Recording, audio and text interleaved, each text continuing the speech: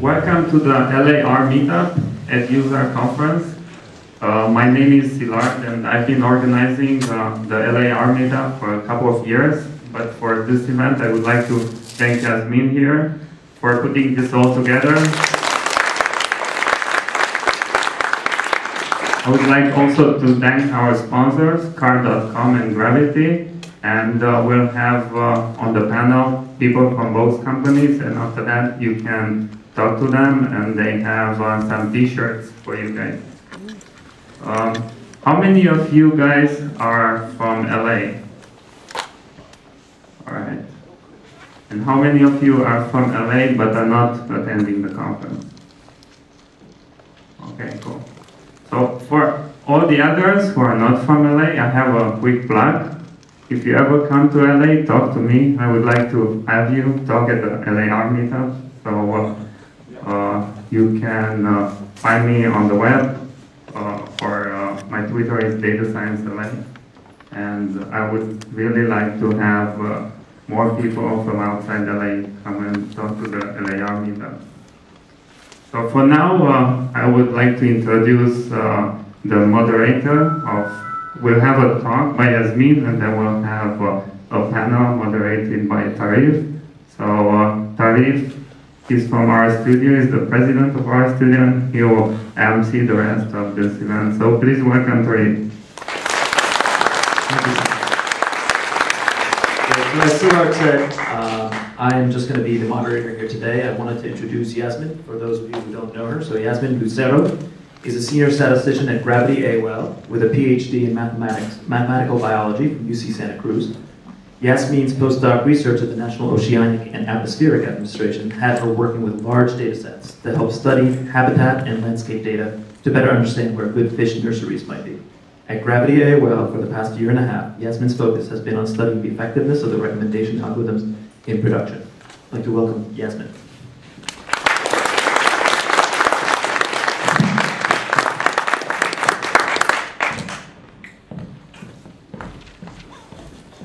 Thank you all for making it out tonight.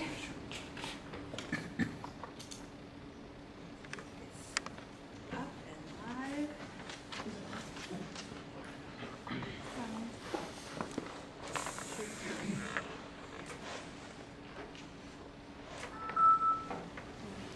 Okay, so, hi, I'm Yasmin. Um, I'm going to kind of give an overview talk here to introduce our panel. I just kind of wanted to lay the, the groundwork for the subject a little bit. Um, uh, these slides are available up on SlideShare. That's the link. I'll show it again at the end. Um, and yes, I'm coming from Gravity AOL, and uh, we put this panel together to just talk about R in production. So for those of you who are not as familiar with kind of tech business terminology, I'm going to lay out a few terms. Production is just the technology word for, you know, what you do in business. It means like it's out there and it's like real. And uh, products is a word that gets used a little differently uh, in business, but it's sort of like the word for, basically it's the deliverable, it's the fundamental unit. In business, the product is the equivalent of the publication in academia. And so uh, when I sort of thought about kind of how I wanted to lay the groundwork and set the framework for this panel discussion, I kind of decided that what we really wanted to talk about was kind of the different kinds of roles that R is playing in tech businesses just from talking to our panelists, from my own experience, and from talking to various people kind of out there trying to do data science in industry.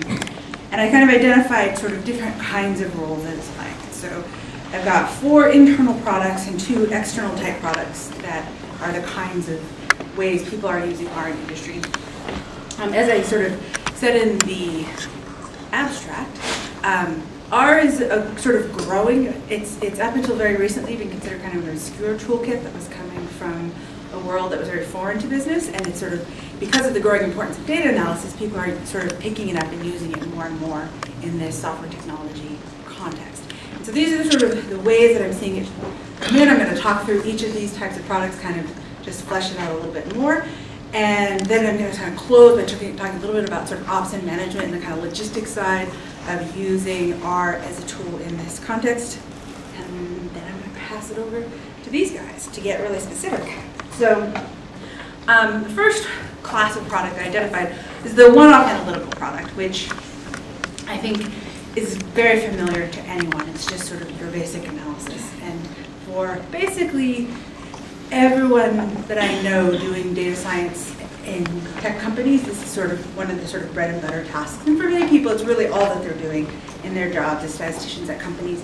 But even people who aren't really big R users will often turn to R for these kinds of problems. And that was always true, that you would turn to R for a little analysis project. And that's just because, um, you know, R has always been set out to be an interactive statistical computing environment. That's like the purpose. And so it's the toolkit. So naturally, when you want to do a little uh, analysis, that's a nice place to turn. Um, but especially in recent years, when I talk to people about why would you use R for this particular purpose, they, they really highlight RStudio in particular and um, the way it has supported things like R Markdown and Sweave better and, uh, the, the, and also Git integration. Those things that suddenly have, have created a more complete platform even than before. So people have always turned to R because it's got good graphics, it's got good statistical libraries, you can go do your analysis, but increasingly people are really just drawn to the ability to have a really clean, well-contained, reproducible workflow, very organized, it's in one place, works well. Um, so I pulled a few examples. This is from one of our panelists, Elliot Parker. Just, you know, she's got her Git repo and her sort of output report. And then this other one is um, just something I pulled off RPubs, which I hope Nathan Esau doesn't mind. I don't know who he is, but it's just a screenshot of an example of what I'm talking about. And uh, just in general, if you're not familiar with um, these markdown reports and these HTML reports that you can generate, RPubs is a great place to go. It's a public site where you can go and see things that people publicly hosted go poke around and see what people can do with these tools. um, the other class of sort of thing that I hear people doing with R in software a lot is this sort of automated reporting pipelines. Um, so a, a, typical sort of example would be a little R, a little bash, cron tab, maybe email alert again, you know, one of these ungodly Frankensteinian pipelines that end up becoming, I don't know, I think we all do it, right? Because it's it's the tried and true technology. I, I, I found at least um, one talk in the useR program for Thursday morning. They're talking about automated business reporting. It's not necessarily just sort of bash and email. It might be that you, I mean, usually there's a little bash and a little cron tab mixed in there. But maybe you're even generating markdown reports and loading them up to a server. Um, this is something I hear about people doing a lot. A lot of people are using R in this way. Obviously, you don't need to use R. There's lots of other scripting languages that kind of can live in this role, but um, the usual reasons for turning to R are you need the statistical libraries and you need the plotting capabilities. So your task requires those things. This is a common tool for people to reach for. the third internal type of package, um, and I uh, highlighted a couple of companies, my company and Google are just two examples of companies that I know are doing this, but I lots of other people are doing this too, which is developing R packages for basically lots of miscellaneous internal tools, especially data APIs, connections to all the idiosyncratic data sources in your own company, and also developing just sort of basic utilities, things like special plotting metrics that are particular to your data structures, and special calculations, and special report generation functions, and just miscellaneous that is not of general interest, but is very useful to share within a company. And uh, you know, I know a lot of people. So any any shop that has a relatively advanced group of R users tends to have one of these kicking around. And uh, the reasons for that, I think, are at least in part because the packaging system is pretty robust and it's pretty simple. It's really easy to wrap things up into a package. And uh, also, um, R is a, it turns out to be a good tool for reading data from various data sources and munging it and manipulating it so it's a fast good, sturdy platform. Obviously, you can do that, those kinds of tasks in lots of languages, but R is definitely one of the ones that people consistently use. Um, and also, throughout, I sort of tried to pull out useR panel talks that, or useR talks that are sort of relevant examples of people doing this out there in the world.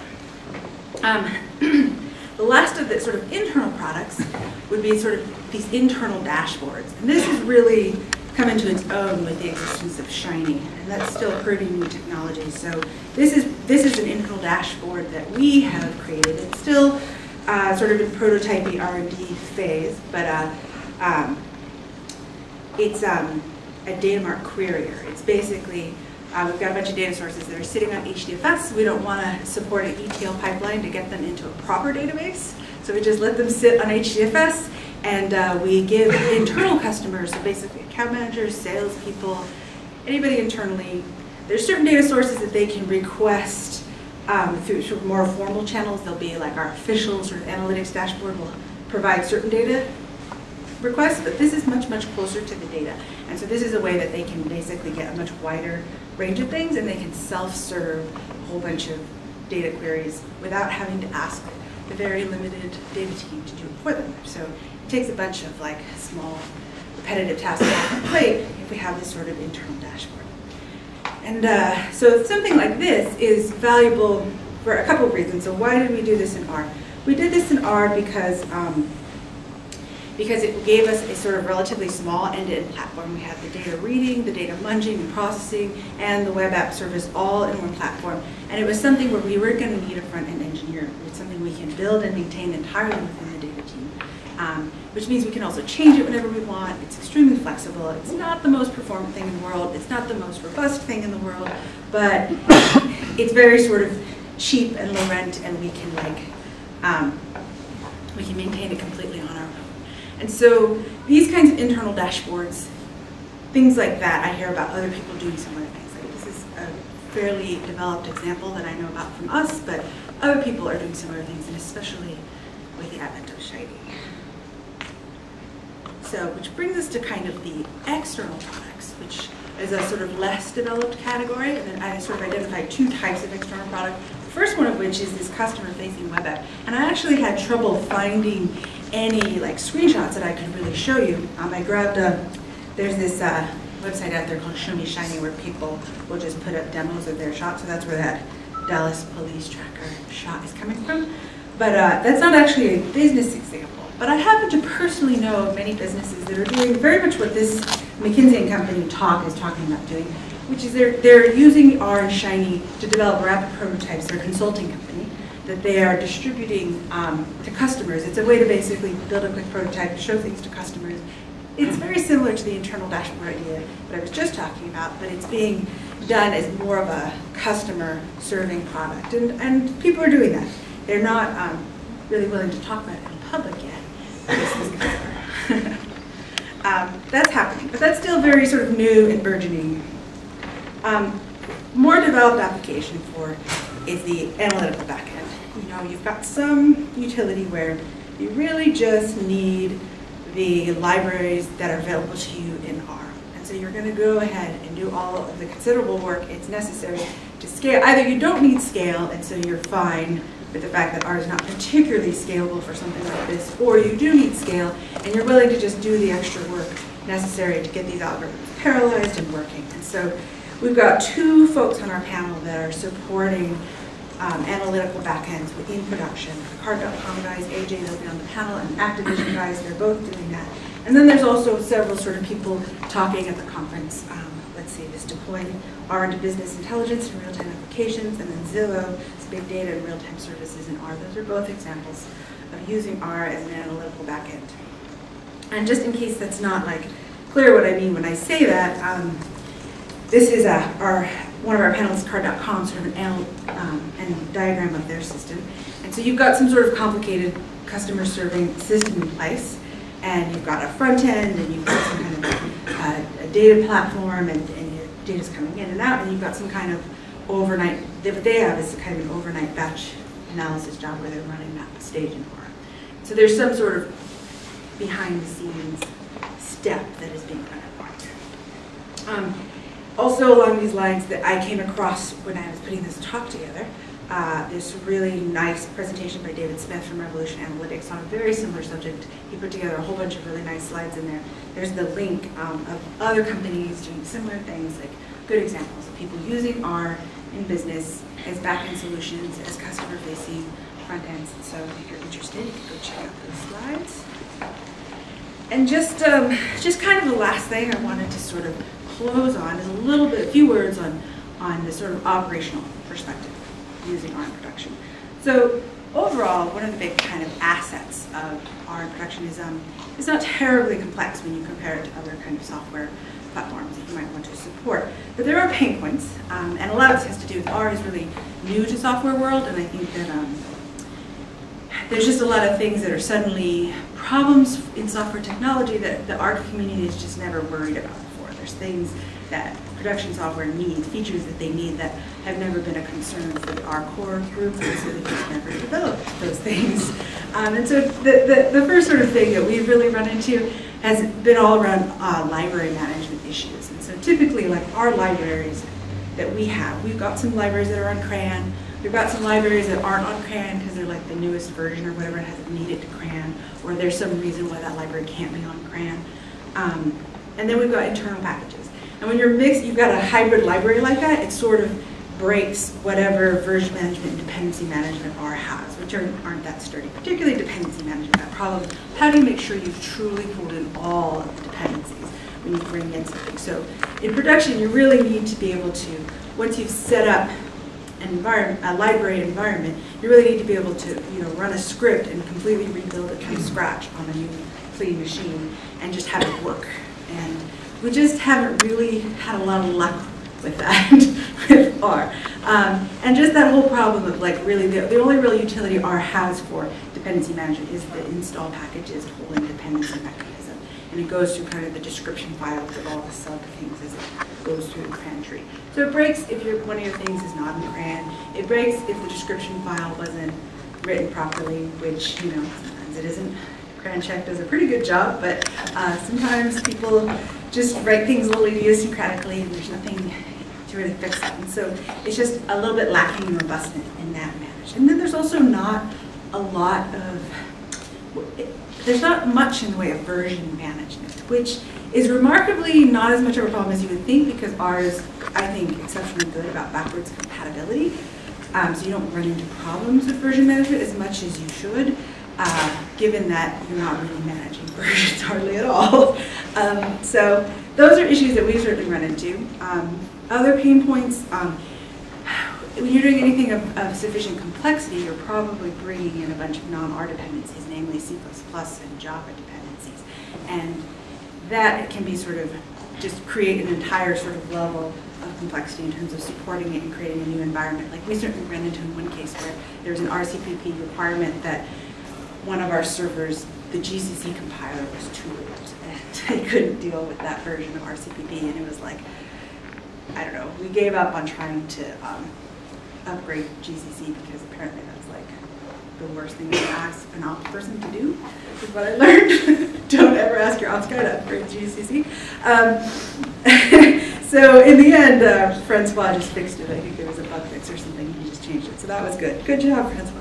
But uh, yeah, we read it. You definitely I found working with Java and working with C++, especially if you're working with a library that pushes a lot of code to Java, suddenly you have a situation where a lot of the manage, memory management stuff is being done on the JVM and all of your sort of usual R memory profiling tools and stuff aren't really telling you what's going on. So you have a situation where you need to bring in a Java developer to debug your code. And so that introduces layers of complexity. And so I've learned to be very cautious about libraries, especially calling Java. Like, if they call too much Java, then I'm, I'm very careful about how I utilize those functions. Um, and then of course hardware specifications, you know, it's all very RAM hungry. And it's like how much RAM can you actually afford? There's no real solution to that, I don't think. Um, so in conclusion, what I wanted to sort of get at is like, why do people choose R? When people are choosing R, what are their motivations? What are they doing with it, and why are they leaning on that tool versus all the other tools? Because almost everything that I've described here could be done with other tools. Um, so why are people reaching for this tool? So when you ask people that, there's sort of two things that they've always said and will always be the really important feature, which is the plotting functionality is best in class, basically. And then the rich analytical library, also pretty much best in class. There's just a bunch of algorithms that you're not going to be able to find anywhere else. And so if you need those, then you need to use R. So those are sort of the like this is why I have to use R. But then the kind of next layer of sort of this is why I don't mind too much using R is, uh, you know, given that R is, it's, it's, it's pretty much a DSL, it's a domain-specific language, but it's sort of more than a DSL. Given that it's, it's basically a domain-specific language, it still gives you fairly end-to-end functionality. You can do almost everything that you would do with a general programming language in R. It's just that lots of those things aren't as well supported as you would in a proper general programming language, but um, you, you can really kind of build soup to nuts kind of products. You can, you can get all, especially now with the development of front-end solutions like, like the web app solutions that have come along in recent years.